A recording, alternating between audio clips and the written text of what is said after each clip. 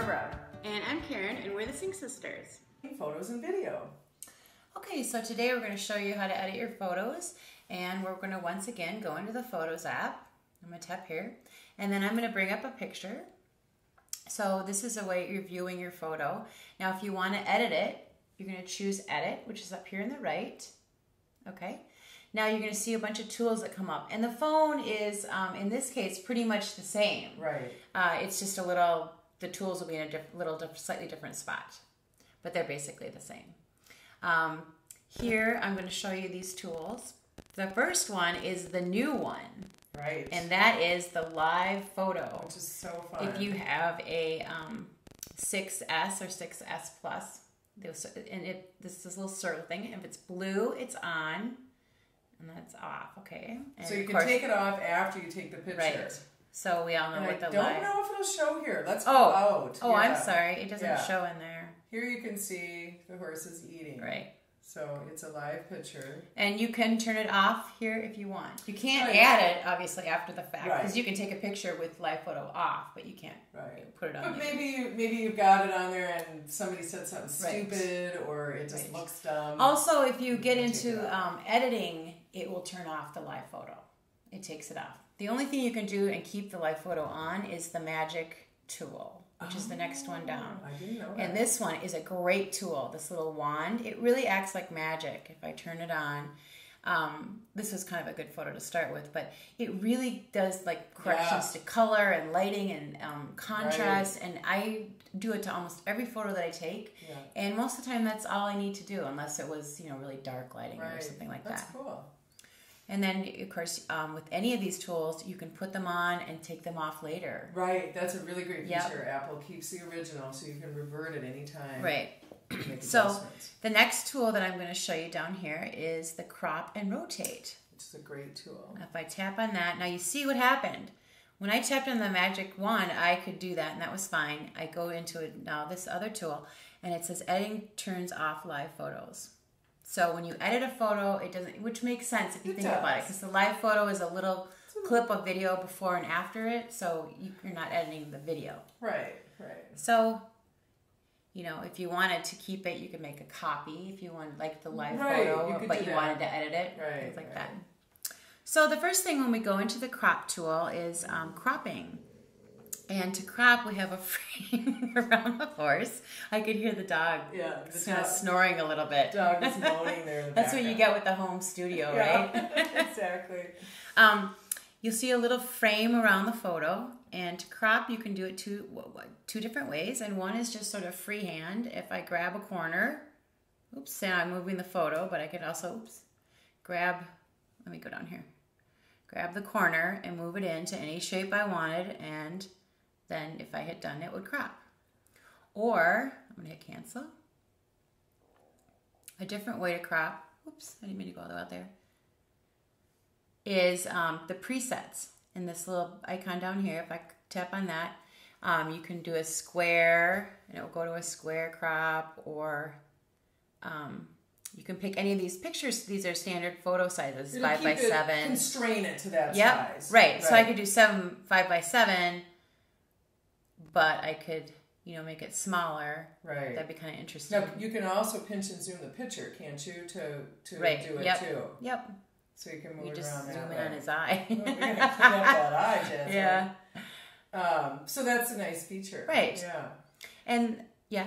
Oh, I was going to say something to note is that you know sometimes if you do like a crazy freehand crop of it, it may not show up right when you're looking at it in the photos view. Oh, right. I've But if noticed you that. if you tap on it, you'll see the whole thing. But sometimes sharing pictures with people too, if you do some kind of crazy out of whack um, alignment or crop, Mm-hmm. Yeah, it's kind of a good idea I found with the photos to keep them to standard, you know, constrained to one of the industry accepted sizes. Right, right. But you can certainly do whatever you want. right?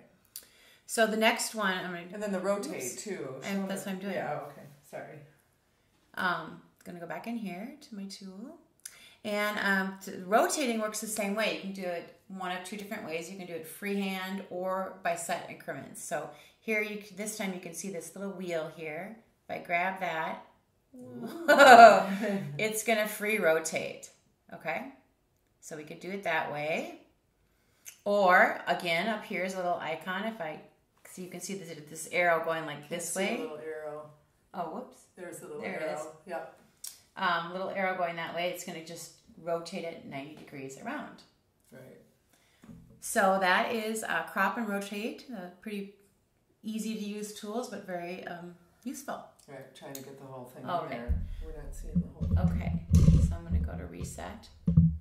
Now, the next tool I'm going to show you is this little three circles that are overlapping, and these are your filter tools.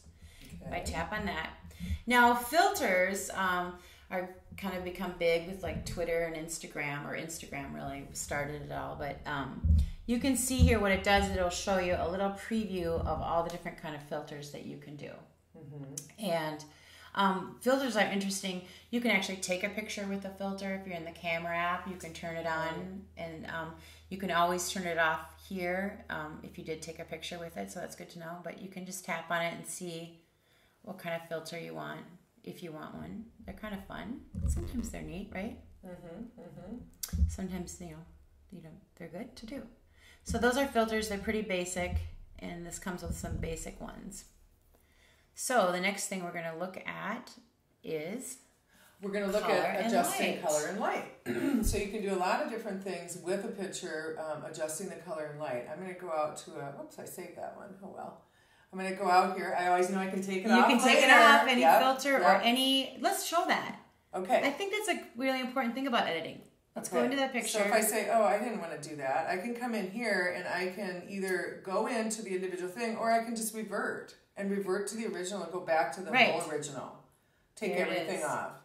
Where did he go? I don't know where. There it is. There it now is. it's back to normal. right. Yeah, that's a really nice feature. At any point, and show them how you can see what the editing has been done. Right, I will. First, let me show you the editing, and then I'll show you one that I've really edited a lot, and you can see how you can make changes Oh, and modify it.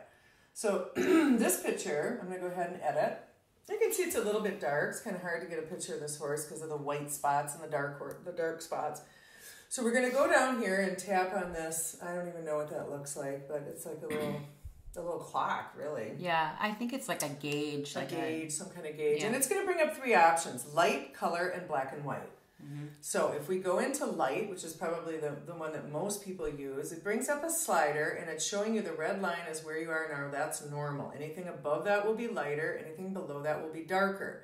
And it's going to go ahead and we just get on here and we start dragging it. We're going to see what it does. I'm going to go all the way so you can see it blow it out. dramatically Yeah. or go really dark Yeah. and do something dramatic. Now, let's say that I don't really like that because in order to get her light enough, it's lightening up my background too much, and I'm not really happy with that. I can go in and do further adjustments. This is this is taking into. I'm going to go like this so you can see what it has done.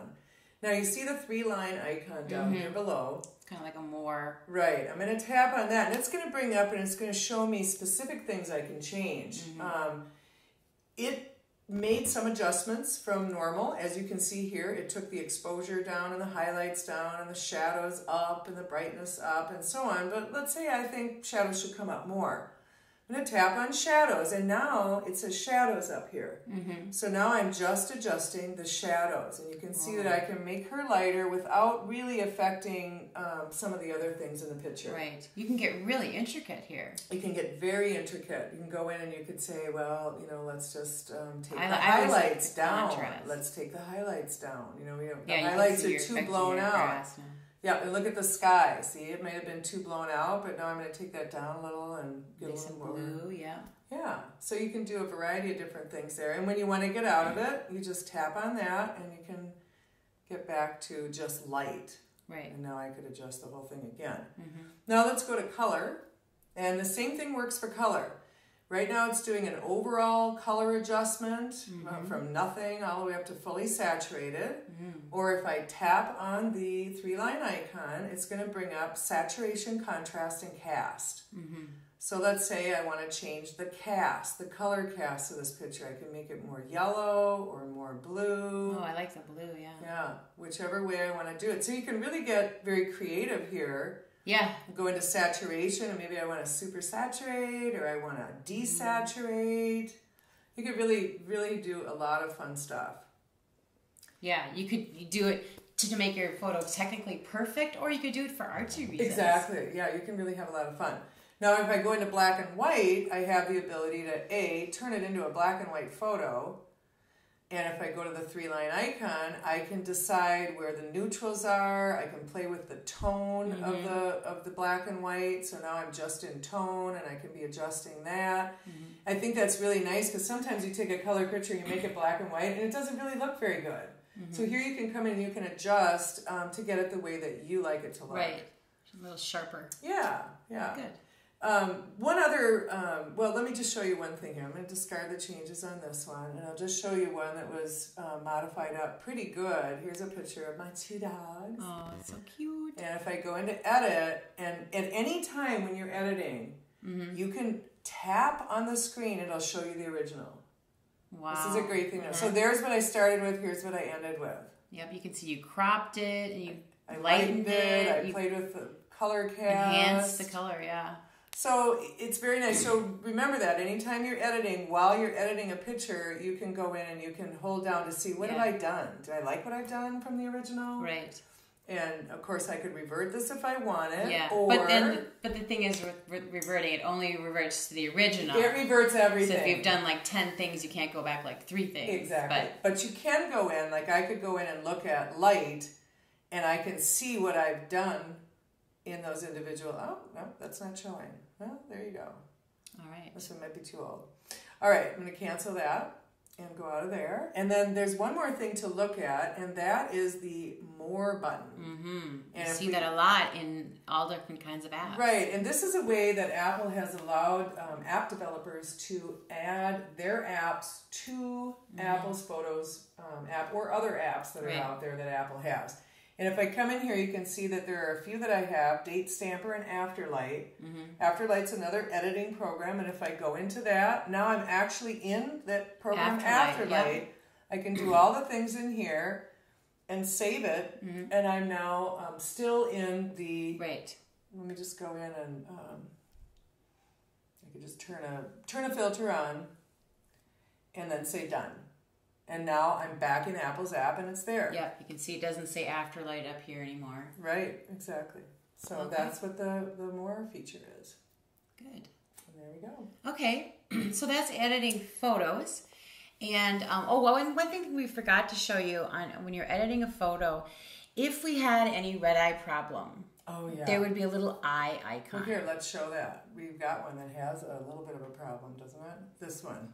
Oh, right. This one has a red eye icon. Right. Okay. And you can go into it. Yep. It's saying right now, no, there's no red eye. Right. You can tap, you can find an eye that might have a red eye by zooming in and then tap on it and then it'll fix it. These right. don't really have red no, eye because the camera doesn't do it, but it must have a little red because it registered that. Right. So that's how you would do red eye. Yep. Yep. And so if your photo doesn't have a red eye, uh, you won't see the eye. Some people up. are like, "Where's the red eye icon?" Right. It only shows up if there is a red eye. Right. Just right. like live photo. It only shows up if there's a live photo. Right. So. so that was editing your photos. Now there are a few things you can do to edit your videos. Right. And the first one I'm going to show you is probably the biggest thing you can do is um, you can trim your photo in the beginning or the end, your, your video. Right. So I picked a video, chose a video, and I'm again going to go into edit. And then down here is where you see the video timeline, okay? Mm-hmm. and um, if I press on it, oops, I'm to hold the iPad too. Well, the white bar, first of all, is your... Where you are. Yeah, that's your timeline. So if I go like what this... What is that? This was the iguana Iguana that was swimming in my mom's pool. that was really awful It was crazy. We had to get the handyman over to take it out. Right, it was big. um...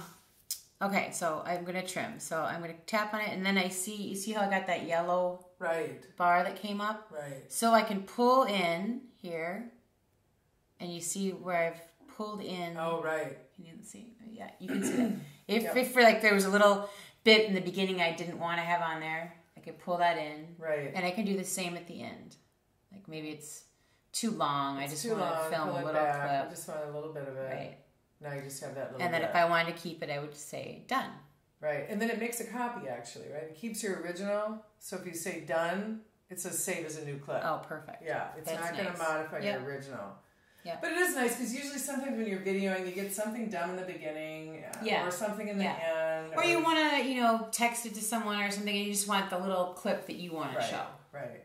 Yeah. And also nice to notice the um, ability to go into the there's the three dot icon mm-hmm, and the again, more icon more, again. where you could go in and you could edit. I think you I might have we to cancel that, yeah. go Whoops. back into it, and then I think then you can go in and you could say open Oh, it there's in iMovie. iMovie. for the Yep. iPad. That's a that'd make a Right. great tech pick, right? Right, iMovie is a great way to edit Right. on You the could just, iPad. because the editing for the videos is not that much. Right, all we can do is Yeah. trim. Trim. Yep. And there's another thing you can do. You can also, if you have a slow mo video, uh, which Yeah. I'm going to show this one of Ollie. Uh, you can take video videos in slow motion. Right. And the thing that is interesting with the slow motion is when you're videoing and you choose slow motion, um, it's gonna give you the it gives you the ability to put the slow motion anywhere you want. In that video. Right. Yeah. So it videos the whole thing like normal, and then it somehow gives you the capability. You can make the whole thing slow mo, or you could put you know a little spot. Right. Like I'll show you again if we look down here at our video timeline, and then you see up here these little lines, and then this where it kind of spaces them out more. This is the slow mo. So if I go here and start playing, oops, Play. it doesn't play here. Oh. Okay. Uh, Well, anyways, this is your slow mo bit, and you could move it. I could make the whole thing slow mo, or I could just move a tiny little bit. Right. All right. So then I'm going to say done, and then I go back out here, and if I play it, Oh, here, up here. They put the play up here Oh my now. gosh. I know they moved the play. there you can see. Now we're It in just the went slow mo. slow mo. Yep. Oh, he's excited. Now it's go. done. Yeah. So And that's really nice to be able to adjust where you want the slow mo because usually you don't want it everywhere. No. It's so so it's just this little yeah. I didn't use it for emphasis. You know, Right. something fun. You know. Right. You don't have to Right. worry about getting it in there when you do it. Yep. Yep. So those are the few uh, things that you can do for editing. And, and with the time lapse photo, you can also trim it, right? Just like a regular video, Yeah. but that's it. Yep. Right. Yep. Yep. So So that is our tech bit on editing photos and videos.